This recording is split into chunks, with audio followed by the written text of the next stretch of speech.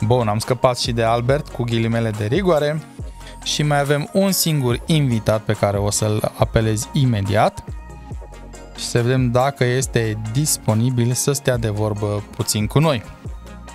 Până un alta, până ne răspunde la telefon, vreau să vă zic uh, câteva chestii despre el.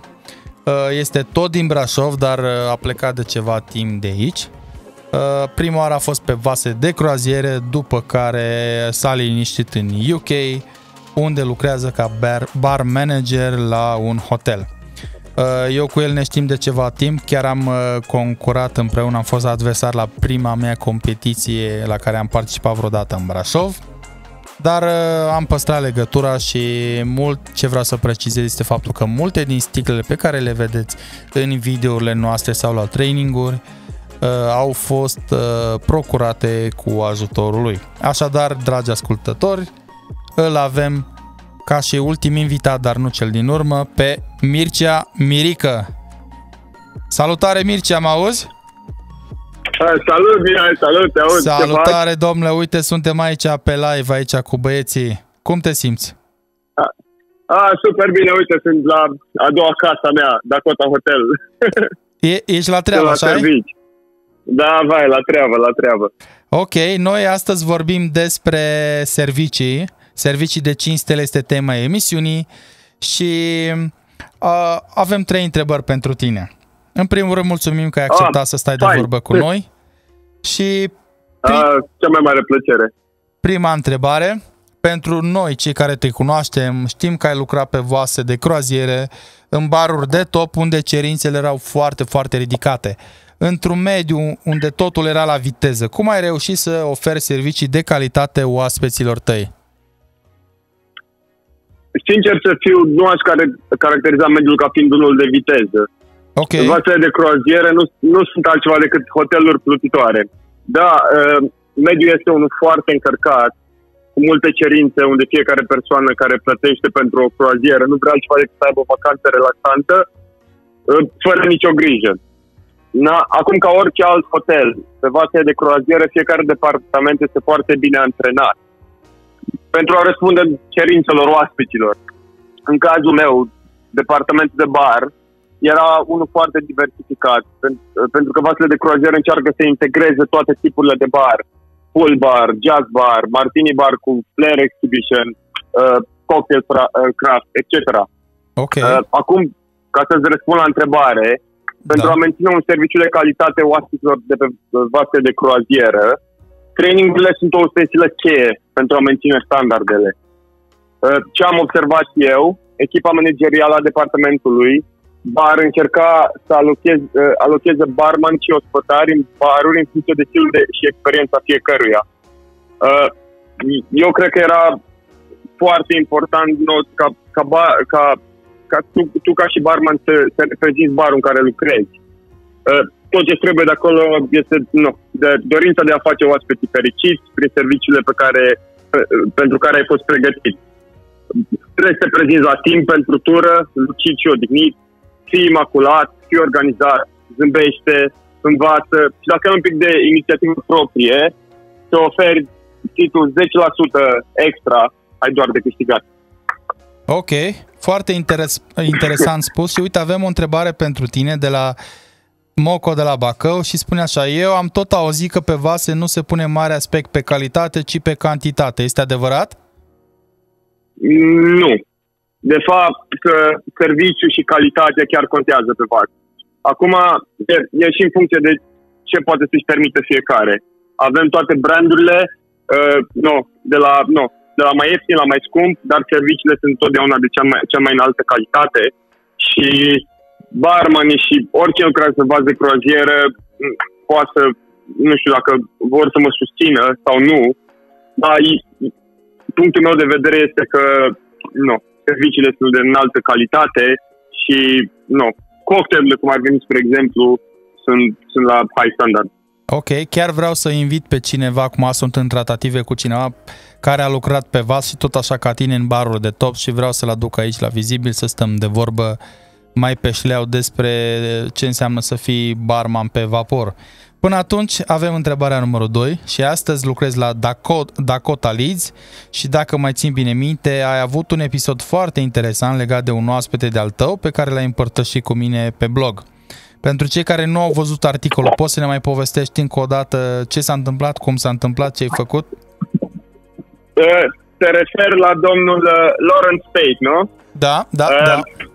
Da, este, este unul dintre oaspeții care ne vizitează regulat. Uh, domnul Tate uh, a călătorit în toată lumea, vizitează hoteluri și baruri de renume și foarte, foarte important pentru mine personal este unul dintre oaspeții pe care aș vrea să-i servesc pentru restul, restul vieții.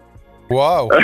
domnul, uh, da, domnul Tate are o aură foarte pozitivă și este o plăcere să-l ai ca, ca oaspete. Anul trecut îmi povestea că de fiecare dată când uh, vizitează Londra, de fiecare dată merge la American Bar, la, la Savoy.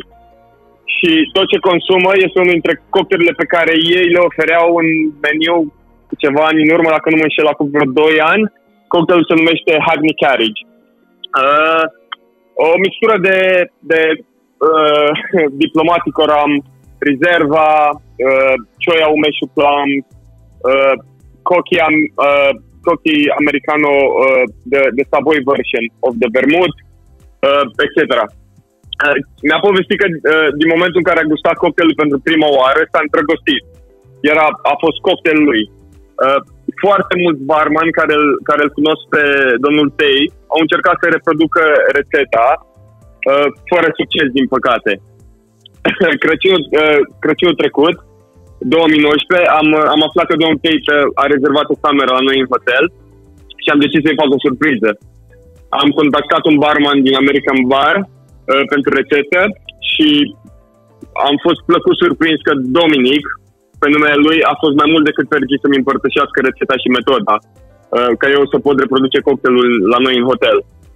În ziua de Crăciun, când domnul Tate a coborât în bar, uh, no, pentru un cocktail înainte de cină, ei, uh, i-am spus că am o surpriză pentru dumnealui. A fost plăcut surprins, dar totuși un pic uh, sceptic, pentru că experiențele trecute s-au dovedit dezamăgitoare.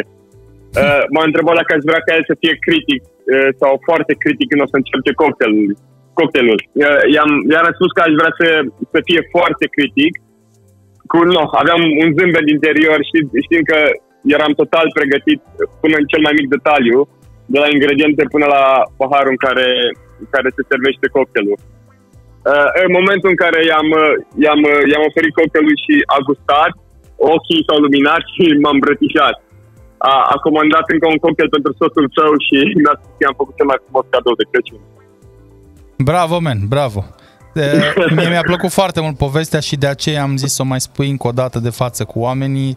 Uite aici avem un comentariu de la Gheorghe și Andrei și mă interesează și pe mine partea de vasă de croaziere foarte mult. Uh, dar ar fi prea multe curiozități și întrebări pentru emisiune, da, într-adevăr, dar o să facem un episod separat doar pentru vase de croaziere și aici în live și în podcast. Mircea, mai avem o întrebare Ce? pentru tine și ai scăpat de noi. Ok, ok. Din punctul tău de vedere, crezi că s-ar putea aplica standardele de excelență de la un hotel cum ar fi Dakota Leeds la un local care nu face parte din cadrul unui grup hotelier? Uh, Răspunsul meu e, e ferm, da. Uh, nimic nu te poate opri în a oferi cel ce este mai bun oaspeților. Nu contează dacă ești uh, business owner sau angajat. Uh, acum, ca și, ca și business owner, da, trebuie să investești în echipa ta și de foarte, uh, trebuie să investești timp și de foarte multe ori bani. Dar dacă vrei ceva mai mult decât un bar mediocru cu servicii ok, trebuie să fii atent la mesajul pe care îl transmiți oaspeților și, și în același timp angajaților un plan bine definit de cele mai multe ori este un succes, zic eu.